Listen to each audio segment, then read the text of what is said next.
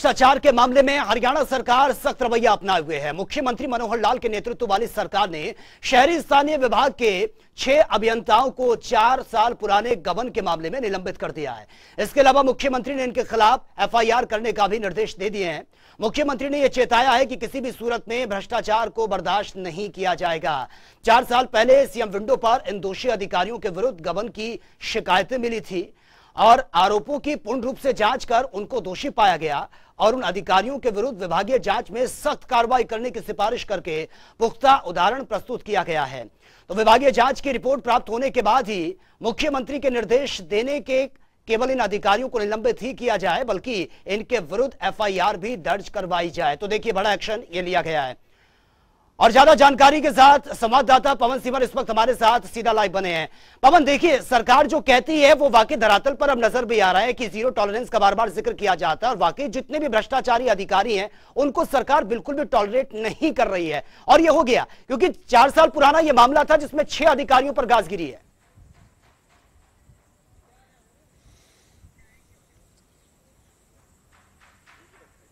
हाँ बिल्कुल देखिए सीएम विंडो पर शिकायत जो है वो दर्ज हुई थी और मेवात के नूह में जब ये चार अधिकारी अलग अलग समय में तैनात रहे और इसके अलावा बवानी खेड़ा में भी इसी तरीके का जो वो मामला सामने आया था और जो नूह का मामला था उसमें जो मिट्टी से भर्त करवाने की जो राशि जो दी गई थी वो गलत तरीके से फ़ायदा पहुँचाने के लिए जो है वो उसमें भ्रष्टाचार के आरोप लगे थे उसके बाद इस मामले में शिकायत हुई थी।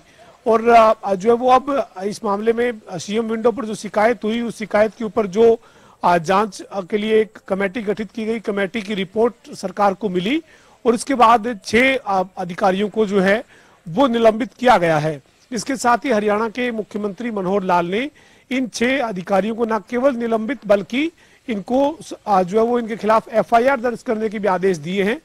दरअसल, जो सीएम विंडो है उस पर तमाम तरह की शिकायतें मिलती है और आज जो है वो पिछले पाँच साल, छह साल में जो है वो तमाम शिकायतें सीएम विंडो पर आई है और अलग अलग समय में सीएम विंडो पर आई शिकायतों के समाधान के दौरान कई बड़ी कार्रवाइयाँ देखने को भी मिली है और इसी कड़ी में ही इन निकाय विभाग के छह अधिकारियों को भी जो है वो निलंबित किया गया है। मामला इनके खिलाफ दर्ज किया गया है और ये जो कार्रवाई हुई है, इसकी वजह यही है कि जो भ्रष्टाचार जो हुआ था इन छह अधिकारियों के ज़िम्मेदारी में जो दायरे में जो काम था उसमें जिस तरीके से इन्होंने नियमों को ताक पर रखकर भ्रष्टाचार किया और वो जाँच रिपोर्ट जो है वो सामने आई। पहले नू के यानी मेवात के जो डीसी हैं उन्होंने जो रिपोर्ट में टिप्पणी की उसके बाद फिर जाँच हुई। हम्म। इसी तरीके से जो पूरी जाँच रिपोर्ट के आधार पर जो है वो इनके खिलाफ एक बड़ी कार्रवाई की गई है और निश्चित तौर पर हरियाणा की मौजूदा सरकार या मुख्यमंत्री मनोहर लाल भ्रष्टाचार पर ज़ीरो टॉलरेंस की जो बात करते हैं हम्म। कहीं ना कहीं उसका असर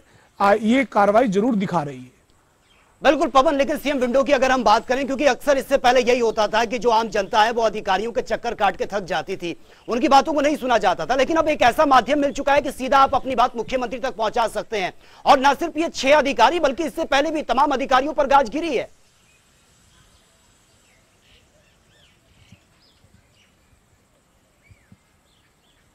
बिल्कुल निश्चित तौर पर मुख्यमंत्री के नाम से जो सीएम विंडो हरियाणा में शुरू की गई इसके ज़रिए तमाम जो शिकायतें हैं वो सरकार तक पहुँचती है और कई बड़े मामले भी सीएम विंडो के ज़रिए ही उजागर हुए हैं और उसके बाद उनमें जाँच हुई है जाँच के बाद बड़ी कार्रवाई देखने को मिली है। ये मामला भी 2017-18 का है यानी करीब चार साल तक इस पूरे मामले में जो तमाम तथ्य हैं वो सामने आए अलग अलग जो जाँच है वो इस मामले में की गई और उसके बाद निकाय विभाग के इन छह बड़े अधिकारियों के खिलाफ सख्त कार्रवाई जो है वो सरकार ने की है जी जी। और इनके खिलाफ एफआईआर दर्ज करते हुए इनको निलंबित किया गया है बहरहाल इसमें जो है वो कोई दोहराई नहीं है कि सीएम विंडो जो है वो सरकार ने जो शुरू की है वो लोगों के लिए एक राहत बनी है और उसके ज़रिए लोग अपनी शिकायत करते हैं। सरकार तक सरकार शिकायत पहुँचती है। उसके बाद उसके ऊपर कई बार बड़े एक्शन देखने को मिले हैं। हालाँकि अभी भी सीएम विंडो को लेकर कई जगह से लोगों की ऐसी शिकायतें मिलती है कि सीएम विंडो पर जो शिकायत की जाती है उसकी जाँच करने की ज़िम्मेदारी भी उसी क्षेत्र के अधिकारी को दे दी जाती है जो उसकी जिनके ऊपर आरोप है उन्हीं को ही जाँच सौंप दी जाती है। तो कई तरीके की गड़बड़ी या कई तरीके की खामी भी सामने आती है लेकिन आ, एक बड़ी शुरुआत ज़रूर है और लोगों को राहत भी इसके ज़रिए मिलती नज़र आई है और कई बार आ, ये जो कार्रवाई है निकाय विभाग के छह अधिकारियों के निलंबन की इससे पहले भी बड़ी कार्रवाई देखने को मिली है।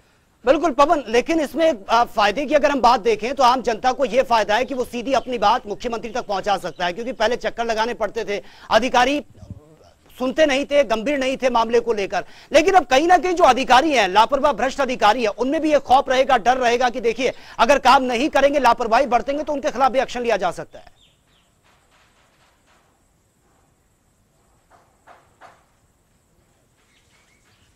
हाँ बिल्कुल। देखिए ये जब हरियाणा में बीजेपी पूर्ण बहुमत के साथ 2014 में सत्ता में जब आई थी उसके बाद ही आज जो है वो ये फैसला किया था कि सीएम विंडो की शुरुआत की जाए और सीएम विंडो की शुरुआत हुई। लाखों की संख्या में पिछले साढ़े सात साल में मामले जो है वो सीएम विंडो पर आए हैं और समस्याओं का समाधान हुआ है। लोगों के लिए एक उचित प्लेटफॉर्म जो है वो उपलब्ध करवाया गया है और लोग इसके ज़रिए शिकायत करते हैं। ज़ाहिर सी बात है कि सीएम विंडो के डर से कहीं ना कहीं अधिकारियों में एक भय भी रहता है लेकिन इसके बावजूद कई जगह पर कई आ, बड़े लापरवाही के या भ्रष्टाचार के मामले भी सामने आते हैं। और सीएम विंडो पर सुनवाई के दौरान कई शिकायतों का समाधान हुआ है, है। और कई जगह पर बड़ी कार्रवाई हुई है। चलिए पवन बहुत बहुत शुक्रिया फ़िलहाल आपका तमाम जानकारी के लिए।